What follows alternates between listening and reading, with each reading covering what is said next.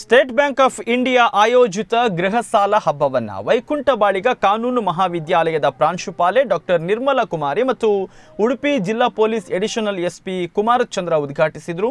State Bank of India Kunjibettu ಶಾಖೆಯ ಆವರಣದಲ್ಲಿ October ಹನ್ನೊಂದು ಮತ್ತು ಹನ್ನೆರಡರಂದು ಎರಡು ದಿನಗಳ ಕಾಲ ಗೃಹ ಸಾಲ ಹಬ್ಬ ನಡೆಯಲಿದ್ದು, ಶೇಕಡ ಆರು ಪಾಯಿಂಟ್ ಏಳು ಸೊನ್ನೆ ಬಡ್ಡಿ ದರದಲ್ಲಿ ಗೃಹ ಸಾಲ ಸೌಲಭ್ಯಗಳು ಲಭ್ಯವಿದೆ. ಉಡುಪಿ ಜಿಲ್ಲೆಯ ಪ್ರಸಿದ್ಧ ಬಿಲ್ಡರ್ಗಳು ಗೃಹ ಸಾಲ ಹಬ್- ಹಬ್ಬದಲ್ಲಿ ಭಾಗವಹಿಸಿದ್ದು ಗ್ರಾಹಕರಿಗೆ ಸುಲಭ ರೀತಿಯಲ್ಲಿ ಸಾಲ ಸೌಲಭ್ಯಗಳು ಲಭ್ಯವಿದೆ. ಕಾರ್ಯಕ್ರಮವನ್ನು ಉದ್ಘಾಟಿಸಿ ಮಾತನಾಡಿದ ವೈಕುಂಠ ಬಾಳಿಕ ಕಾನೂನು ಮಹಾವಿದ್ಯಾಲಯದ ಪ್ರಾಂಶುಪಾಲೆ ಡಾಕ್ಟರ್ ನಿರ್ಮಲಾ ಕುಮಾರಿ ಅವರು, ಗೃಹ ಸಾಲದ ಹಬ್ಬದಲ್ಲಿ ಭಾಗಿಯಾಗಿರೋದಕ್ಕೆ ಬಹಳ ಖುಷಿಯಾಗುತ್ತೆ. ಉಡುಪಿ ಮತ್ತು ದಕ್ಷಿಣ ಕನ್ನಡ ಜಿಲ್ಲೆಯ ಬ್ಯಾಂಕಿಂಗ್ ಕ್ಷೇತ್ರದಲ್ಲಿ ಹಿಮಾಲಯಕ್ಕೆ ಸಮನಾಗಿದೆ ಅಂದರೆ ನಮ್ಮ ಬ್ಯಾಂಕಿಂಗ್ ಕ್ಷೇತ್ರ.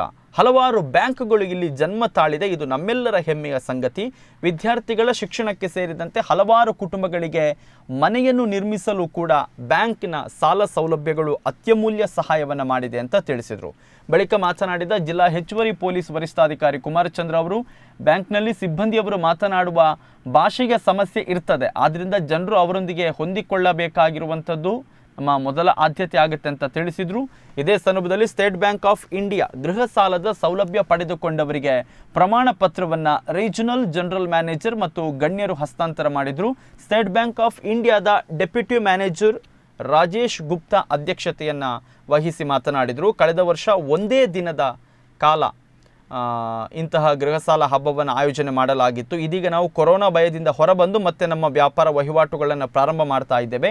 ಇಂತಹ ಸಂದರ್ಭದಲ್ಲಿ ಹೊಸ ಮನೆ ಖರೀದಿದಾರರಿಗೆ ಮತ್ತು ಬಿಲ್ಡರ್ಗಳಿಗೆ ಸಹಾಯವಾಗುವ ನಿಟ್ಟಿನಲ್ಲಿ ಇಂತಹ ಗೃಹ ಸಾಲದ ಹಬ್ಬಗಳು ಸಹಾಯಕಂತ ತಿಳಿಸಿದರು.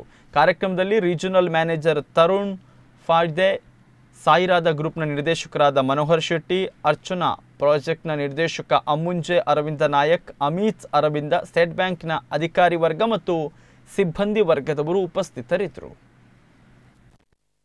ಸೊ ಅಂಥ ಟೈಮಲ್ಲಿ ನಾವು ಕೊರೋನಾದಿಂದ ಸ್ವಲ್ಪ ಮೇಲೆ ಇರುವಾಗ ಈ ಒಂದು ಮೇಳ ಮಾಡಿ ಮನೆ ಕಟ್ಟುವವರಿಗೆ ಸುಲಭ ರೀತಿಯಲ್ಲಿ ಈಗ ಮಾತಾಡುವಾಗ ಹೇಳಿದರು, ಇಪ್ಪತ್ನಾಲ್ಕು ಗಂಟೆಯಲ್ಲಿ ಲೋನ್ ಸ್ಯಾಂಕ್ಷನ್ ಮಾಡ್ತೇವೆ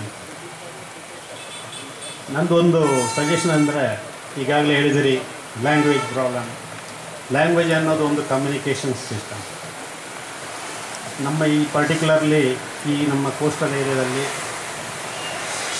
ಇವಾಗ ಏನಾಗತ್ತೆ?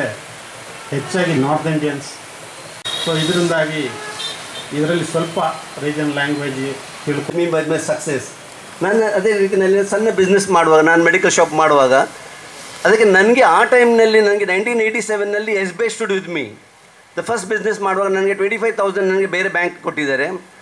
ಇವತ್ತು ನನಗೆ, ಅವ್ರು ಕರೆದು ನನಗೆ ಐದು ಲಕ್ಷ ರೂಪಾಯಿಗೆ ನನಗೆ ಅವ್ರು ಕೊಟ್ಟಿದ್ದಾರೆ. ಐದು ಲಕ್ಷ ನನಗೆ ತಗೊಳ್ಳಿಕ್ಕೆ ಆಗಲಿಲ್ಲ. ನನಗೆ ಗೊತ್ತಿರಲಿಲ್ಲ ಅಷ್ಟು ದೊಡ್ಡ ಬಿಸ್ನೆಸ್ ನಾನು ಮಾಡಲಿಲ್ಲ ನನ್ನ age was twenty one so ನನಗೆ ತ್ರೀ ಲ್ಯಾಕ್ ರುಪೀಸ್ ಕೊಟ್ಟಿದೆ. So today I again and again I say like whatever my growth is there it is only because I S B L C that was my one of my hundred percent service ಕೊಡಬೇಕು thirty lakh families has been happy family with your S B I but but ನಾವು everything opening opening up so I feel yes yes ನಾವು we will be back into the business all my colleagues all my businessmen all my customers uh, should be back uh, with